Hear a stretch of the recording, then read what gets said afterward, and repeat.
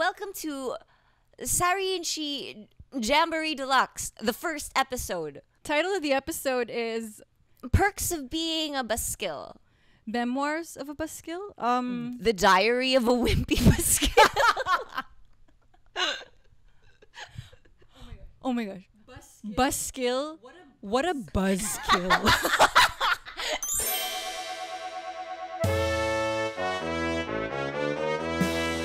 Welcome, welcome, welcome, welcome to the show. It's time to calm your titties. Ready, set, go. We're talking and we're singing and we give zero fucks. This is Sari and She Jamboree Deluxe. So, ang pagiging buskill, please define. Anong buskill? Basang kilikili. Hell yeah. Beeves gago. Mm-mm, mm-mm. Um, can we relate? You bet we can. Yeah. What do you think about gray shirts? That's a big no-no. Oo.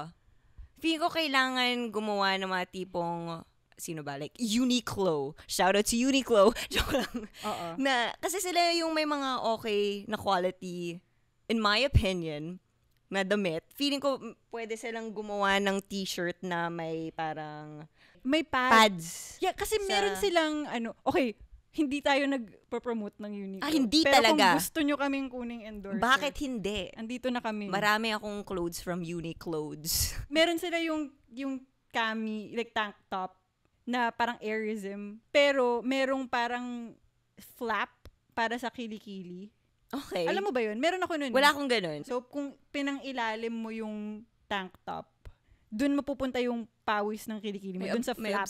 okay, may Instead sponge sa shirt. Oo. So, why not make shirts na merong pad na Mm-mm, mm-mm. para i-absorb yung mga moisture-wicking. Oo. Specifically, gray shirts. Oo. S- Wala na akong gray shirts because of this bullshit we call buskill. Yun nga eh. And Mm. hindi naman sa, like parang pwede kasi namang basa yung kilikili mo pero hindi ka mabaho. Ah, Diyos ko. Pero, Oo. pag nakita mong basa yung kilikili mo, Mukha ina-assume ka mo ng, agad mukha ka eh. ng mabaho. Yun na nga eh. Oo, Parang, yun yung bad trip. wala naman akong ginagawa sa'yo eh. Oo nga. Wal, wala nga din akong ginagawang physical activity eh. Bigla nang didrip na lang yan eh. Ewan ko ba, genetic ba to since apparently pareho tayong may problema. Ah, ah. Madali pawisan yung mga kilikili namin. So, yung ang lala noon. As in, Ang lala talaga. talaga Yun na ng- nga eh. Kasi hindi siya talaga. parang ano lang ah. Parang, oh no, ano, dark yung sa shirt ko. It, hindi. May sweat drop. Walang tigil lang ulan. Oh. Yun. Oo. Sa kili-kili ko. Nice. As in drop of bead of sweat that runs down my arm. Pagtingin ko na lang, huh? Umiiyak ba ako all the way down to my arm? And to think like after pat like, after maligo, siguro yun yun yun, no? yung temperature change ng katawan mo pagkatas mo maligo. Mm-mm. Bigla parang sumisingaw lang na parang Oo. Kaya importante daw na kung kunyari nag-hot shower ka, A a, splash of a- a- cold. A, splash of cold if you will. Oo nga, yun na nga ginagawa ko ngayon. Gumagana ba? Hindi. Wait lang. Ano yung jabar? Pareho lang ba Ay, yun? Feeling ko yun yung mabaho na baskil. Correct me if I'm wrong. So, baskil is the, just the sweat. Ang jabar kapag Mabaho. may amoy. hit us up. Oh, hit us up. Correct us if we're wrong. Ang point, okay, let's stick to baskil. Let's stick to what we know. Let's stick to our truth. Okay. Baskil. Okay, at one point, sobrang na-bother na talaga ako. Kasi, kasi mas malala yung sa akin, no? Mm-mm. Salamat. Kala ko we're speaking our truth, di ba? Oo nga. So, i-deny ko. Hindi, hindi. Gusto mo, oh, Hindi. hindi naman. hindi. Hindi naman. Minsan lang, pwede rin naman masaktan sometimes sa truth. okay, ganito ang ginawa ko. Nalaman ko pwede ka pala maglagay ng Botox sa kilikili Alala ko yun. para hindi siya mag-sweat sweat as much. as much. Or at all yata eh. Parang, Ah? that was like a sweat-free season for me. Parang, ang saya ko nun. I was really feeling myself. Parang, shit, ang fresh ko. Yung Botox, naglalast lang siya for around six months. Ah. So, I, siguro dalawang beses ko ginawa yun. Mm-mm. Tapos, nare-realize ko, ayoko tong bayaran every six months. Right. There's gotta be a better way. Luckily, may nahanap akong alternative, which was to have surgery. Yung process niya, parang liposuction in that, parang, I think dun, it's at the same layer of skin where they do liposuction.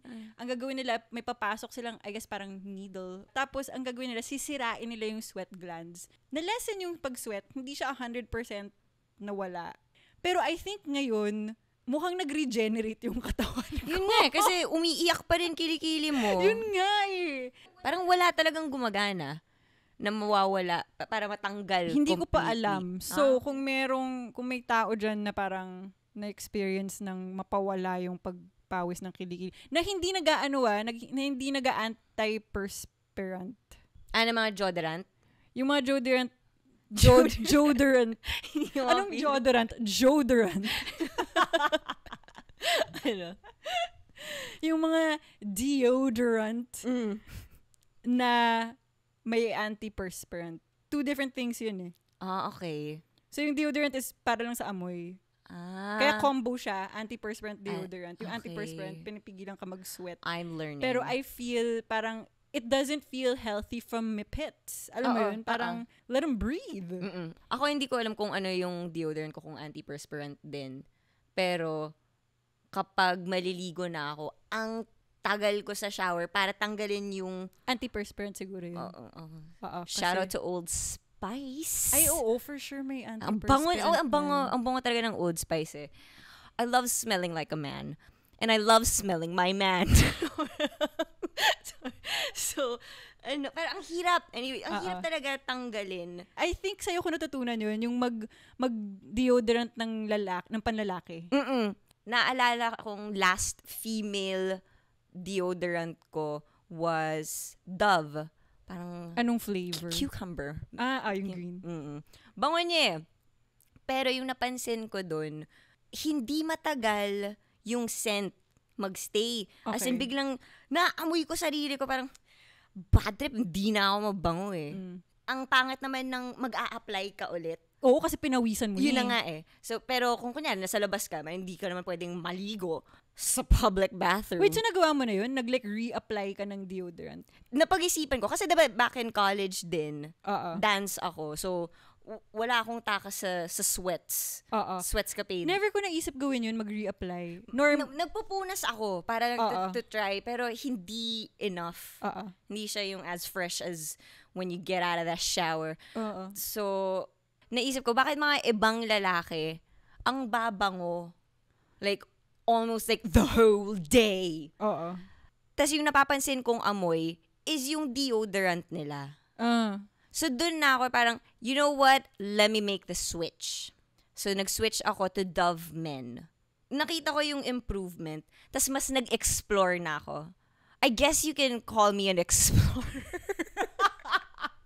so, dun na ako nag-explore. Tapos, naisip ko ang Old Spice. Ang bango ng Old Spice. Mm. Yun yung parang, personally, feeling ko, that is the scent of a true man. Ah. Yun lang naman sa akin. Okay, okay. Oo. okay. I mean, valid. oh, thanks. Ang nakaka-bad trip is me, like, shout out to Ryan Puno.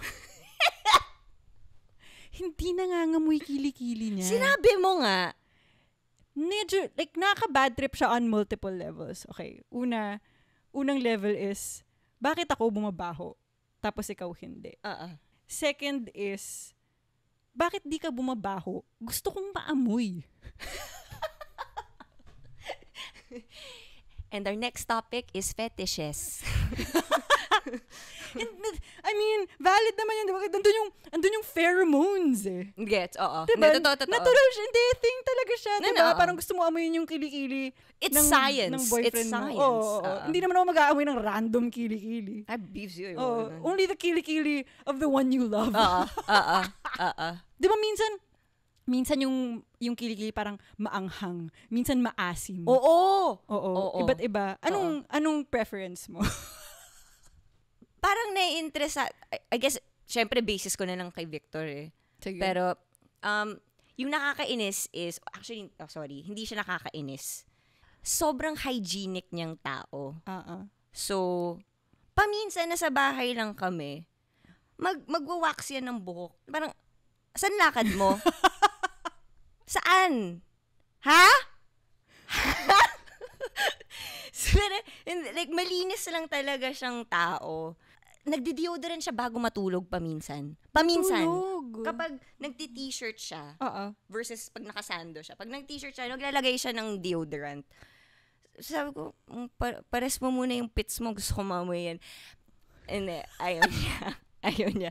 Kasi mas pawisin si Victor.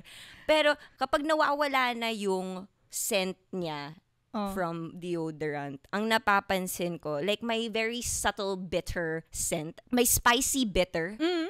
Parang ganun. Mm-mm. I guess yun yung prefer ko. Kasi sinisinghot ko pa rin siya kahit ganun na amoy niya. Tapos sabi ko, ang comforting ng smell. Yung amoy is like, yeah, I'm home. Mind you, kaya ako naiintindihan yung spicy bitter scent. Si Hindi, sa sarili ko. so talagang I am home. And siguro, siguro, kaya ako naiisip na I am home with Victor. Kasi yun din pala scent mo. Wait, inamoy mo ko? Actually, never pa kitang naamoy na mabaho. Let's keep it that way. Okay. Dati alala ko, sinabi mo sa akin once, hindi ka mukhang bumabaho. Hindi nga. Tapos, sobrang na-touch ako. ano tas ka doon? sobrang, parang feeling ko, isa yun sa parang pinakamalaking compliment na na-receive ko from you. The fact na coming siya from you, kasi kapatid mo ko, eh, like kilala mo ko, tapos hindi mo tingin na mabaho ako. Nasa itsura pa minsan yun talaga ng tao eh. Kaya ako sobrang flattered. Kasi alam mo, yun din naisip ko sa'yo. Pag sinasabi mo sa'yo na parang bumabaho, umaasim yung kilikili mo, sa totoo lang, hindi ako naniniwala. Ay naku, maniwala ka na. Okay, so mukhang gagawa na tayo ng kanta. Uh, just to explain ano yung gagawin natin since first time natin to gagawin. So nag-usap kami. And ngayon, gagawa lang kami ng kanta. No pressure. As in, Mga tipong 15 seconds oh, lang. kahit 15 se- kahit 5 seconds lang walang Ah, mali siya. Kasi ang point din ng podcast na to is wala lang makapag-explore kami musically eh, without feeling like kailangan perfect, kailangan Mm-mm. maganda. Mm-mm. And I think important yun for creatives, for artists na may Mm-mm. space to just play. Kasi minsan nakakalimutan natin to just play. Mm-mm. And who knows, maybe meron tayong ma magawa na kanta, ma-pick up for our next new hit. Because we only make hits. Playing you the hits all day. all day long. Yun. So, okay, mag-set up tayo. All right. Let's do it. Here with our brand new song, fresh from the oven. It's, it's piping hot. Piping hot and spicy good.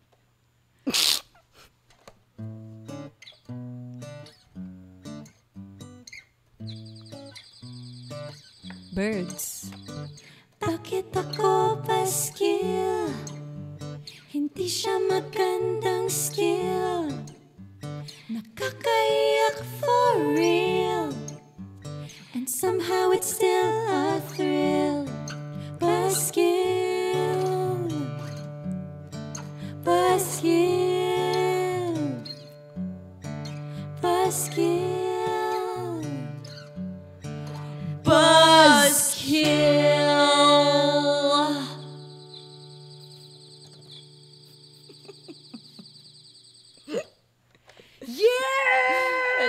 nagkamali lang ako Ganda sa isang nun! part. Ang, gan- ang ganda nun!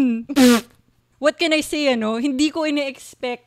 Or sobrang in-expect ko ba? Ako hindi ko in-expect. Ako, half-half siguro. Part of me is expecting, part of me is surprised, part of me is hoping, but part of Bakit me, ka tunog tito?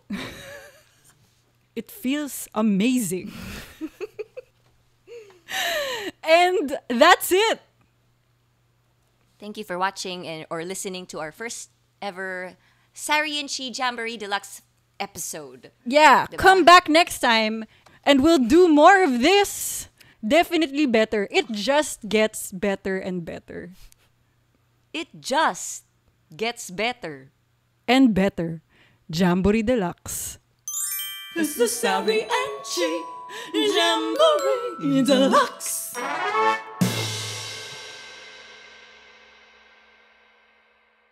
Bye.